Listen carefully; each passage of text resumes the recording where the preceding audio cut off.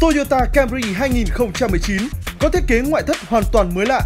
Tổng thể xe được làm mới lại trông năng động, hiện đại và thể thao hơn, cùng màu sắc tương phản đầy ấn tượng.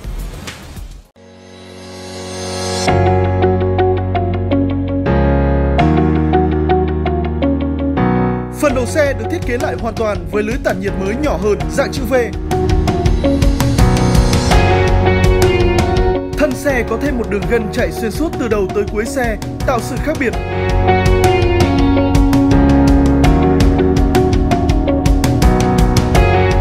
Lần đầu tiên Camry ở Việt Nam có cửa sổ trời cho hàng ghế trước. Đây là điểm cộng đáng chú ý cho mẫu sedan hạng D này.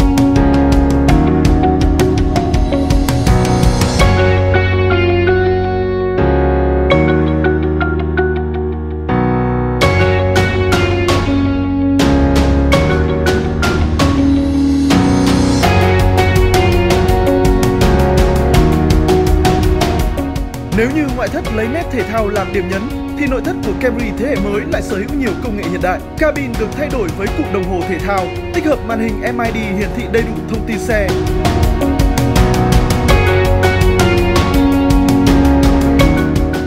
Nội thất của xe bọc da với phần táp lô được thiết kế với đường uốn lượn khá mềm mại tạo điểm nhấn.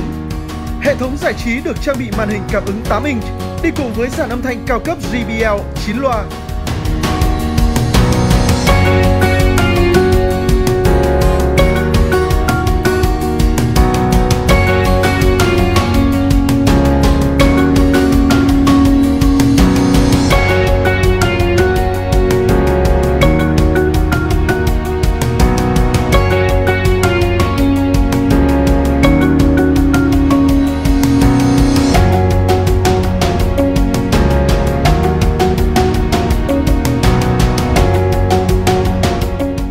Nhiều nâng cấp đáng giá xuất hiện trên Toyota Camry 2019 sẽ giúp mẫu xe này tăng sức cạnh tranh với các dòng xe cùng phân khúc như Honda Accord,